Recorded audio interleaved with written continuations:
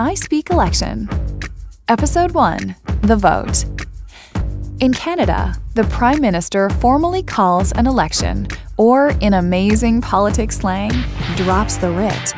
This starts the writ period, when different restrictions about money and information come into effect, making the election as fair as possible.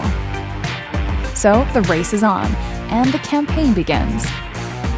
The party leaders travel across the country giving stump speeches, getting most of the media coverage. But when we all vote, we technically vote for our local candidates, not for the party leaders.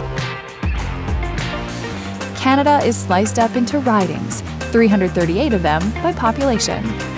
Each gets to pick one person to be a Member of Parliament, or MP. They literally go to Ottawa and fight for their riding's interests. When Election Day comes, the actual voting system is called First Past the Post, referring to horses in a race.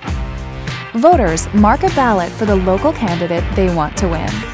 The one with the most votes wins that riding. The party with the most riding winners gets to form government. Check out the other videos in our series, I Speak Election.